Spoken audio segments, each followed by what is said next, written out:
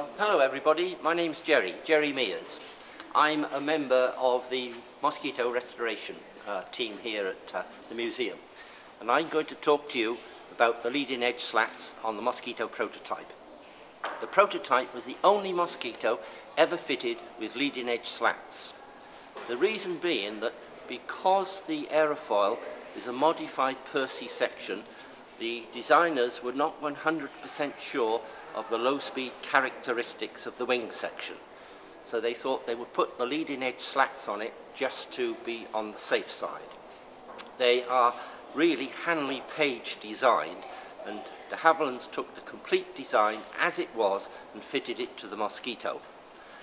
Now, they uh, were only discovered in detail when we refurbished the Mosquito just for, the prototype, sorry, just four years ago. They'd been on there ever since its last flight, mostly covered up with fabric, but also held in place by some aluminium strips, which I'll show you where the strips are later on. There is no control between the leading edge slats and the cockpit. They're operated purely aerodynamically, and I can demonstrate this if you like. Normally with an aerofoil section, the airflow over the wing has what's known as a stagnation point, usually right on the leading edge of the wing, where the wing, where the airflow becomes stationary, some splits to go over the upper surface and some splits to go over the lower surface. Now the stagnation point is normally about there. But as the incidence of the wing increases, which it would do as the aeroplane slows down, you need a higher incidence to create the same amount of lift, the stagnation point starts to move down onto the underneath surface of the wing. And at about the stalling speed, it will reach that crack running along there. The airflow then changes direction and goes through that crack and forces the slats out. That changes the whole shape of the aerofoil over the wing. It's a much different shape and you get increased lift at the lower speed. As the airspeed increases and the incidence decreases on the wing, the stagnation point with the flaps in the outward position starts to move back up there onto the leading edge and slams them shut again.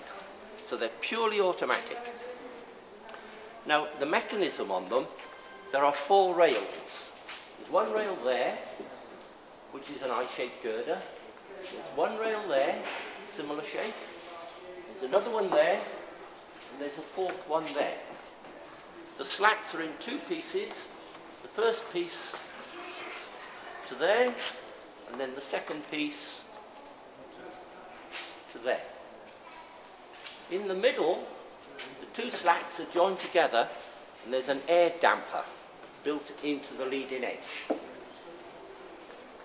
Now on this rail, there is a cable which comes from the front of the rail, round a small pulley, round a larger pulley, comes back again, round a pulley to the back of the rail.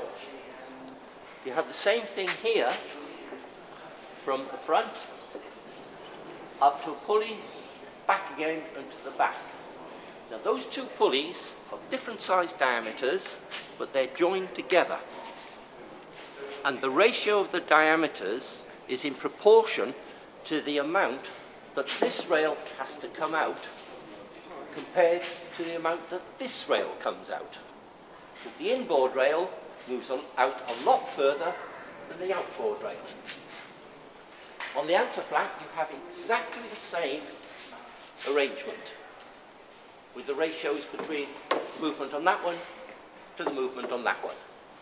But the only joint between this one, that one, is the air damper in the middle. So that's how they work.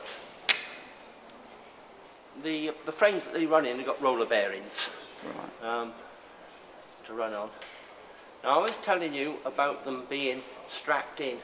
If you see these fixings here, the, there was a, an aluminium uh, band which was screwed right over the front of them and they were fabricked all over. We've got the uh, flight records of the first 50 flights of the prototype Mosquito and we've only found one mention on them of slats. It just says in the comments, slats, that's all. so we presume that, that they were used then. Um, they found that they weren't needed actually. Uh, that's why they never appeared on any more mosquitoes. But it does make the wind um, construction so much more complicated because you've got a proper leading edge built inside here and then you've got another aerofoil section to make on top of it. Much more complicated than a, a simple leading edge. We knew they were there. We always knew they were there. You could see um, the marks of them through the fabric. One, we didn't know exactly how they worked, um, and uh, we knew they were not controlled from the cockpit because there was no controls in the cockpit. There were no cables running to the cockpit. So we reckoned they had to be purely automatic. But we weren't sure how they were governed and it took us a lot because we had to renew a lot of these cables. The cables had corroded, so we had to build up new cables. And it took us quite a long time to learn how to rig them, to get them to work perfectly. Because there are adjusters at each end of the cable. There's an adjuster there, and there's an adjuster on the same cable at the back. And the cable, when it's wrapped around the pulley, is anchored on the pulley so it will not slip on the pulley. So you've got three adjustable places on each rail. So in total, you've got 12 adjust adjustments to make to get them to work properly. Right, yeah, okay.